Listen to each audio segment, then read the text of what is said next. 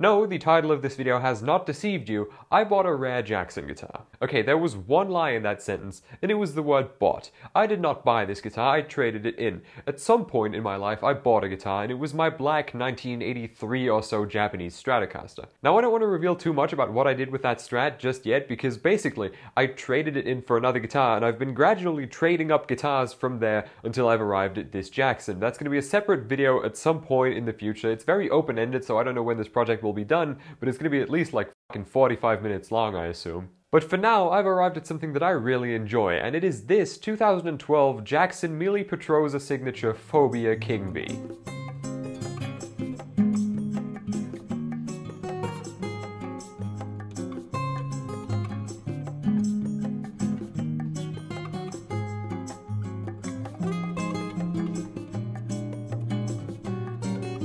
This thing is so incredibly sick that I'm actually unsure if I want to keep trading up guitars. I could just end it here and keep this. Now, let me give you some brief history on this guitar.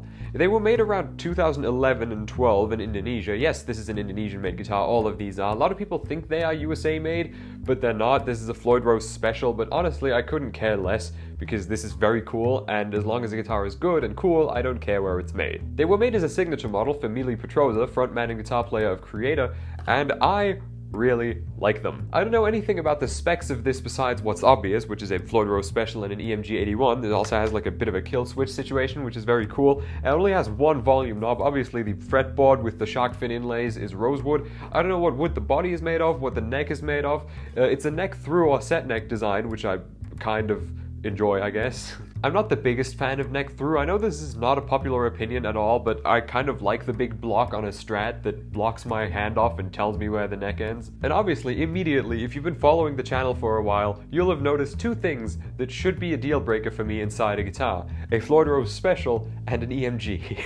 And yes, while I have in the past been very open about my absolute disdain for EMG pickups, the EMG 81 in particular, it's still a plus even though I don't like this particular pickup. It's equipped with a pot with the appropriate impedance for an active pickup, and it has a battery compartment in the back, so if I were to put a Fishman in it, I wouldn't have to route anything out. I could put a Fishman pickup in it, I could put an active Seymour Duncan in it, I could put whatever in it, I could even change it to a passive pickup and just bypass the battery thing, but I don't think I will because it's cool that this already has the battery compartment. That being said, I don't know if I'm going to do any of that at all because I might keep this just in original condition in case I get another trade offer. Now, at long last, let's move forward to the title of this video, Why is this guitar rare? Well, around 2012 when these were made, only 250 of them were made. And given that Kreator is a German band, those 250 Indonesian-made Black King Vs were EU only. So this is an appropriately difficult guitar to find on the used market, and therefore was an absolute gem for me to just get as a trade offer for the guitar I had beforehand. Especially in the condition that this thing is in. There's this one tiny spot that's had some of the satin finish rubbed off, but there's no raw wood showing or anything, it's just like slightly polished. I mean, even the stickers, the protective foil thingies are still on the back of the tuners. The frets are still perfectly round, none of them are damaged, as if this thing had never been played. So technically, since this is a guitar with an EMG, a sound demo is kind of moot, since it is going to sound like a guitar with an EMG, but I'll give you one nevertheless.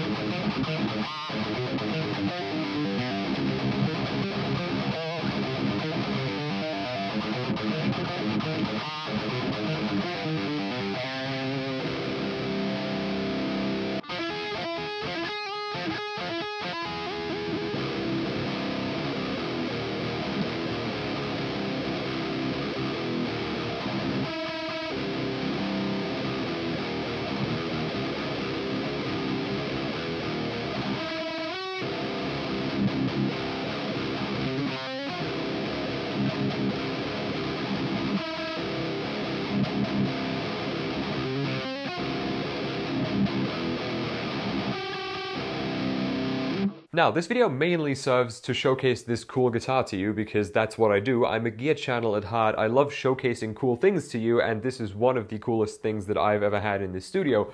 But also, it serves as kind of a call to action. If you think you have something of equal or greater value that you would like to trade for this thing, just send, me an email at contact at sixstring.tv. It's linked in the description. It's right on here. I just said it. Send me a DM on Instagram tweet at me, I don't care. Just try to get in touch with me, I will respond. Let's trade. That being said, one of the major drawbacks of this thing is not just that it's a flying V, but also that it has a reverse headstock, something that's really badass, but also makes it take up even more space physically, meaning this case is an absolute behemoth that does not fit on screen. I mean, like, actually look at this. Holy shit, this is big. Uh, so I couldn't like ship this around the world unless you were willing to pay like 300 bucks for shipping or something. But if you're within the EU or even better, just within Germany, then definitely shoot me a message. Also, if you are one of few people who know these guitars very well, you might have thought, hmm, didn't those come with Kreator branded Jackson gig bags back in the day? Uh, well, yes, they did. I have mine right here. I did want it because it's part of the original set. There's the Kreator patch that's sewn on right there. But it is absolutely tattered and torn. It is in the worst condition I've ever seen a gig bag in. I just wanted it because it's part of the set. So, thank you so much for watching. If you enjoy my videos, then consider subscribing to my Patreon. My Patreon members who are currently subscribed are right here. The benefits are right here. Link in the description. $5 a month. That's all I'm going to be throwing at you for the end of this video. Latest video is right here. Subscribe down there. Leave a like, subscribe, uh, leave a comment, whatever. Goodbye.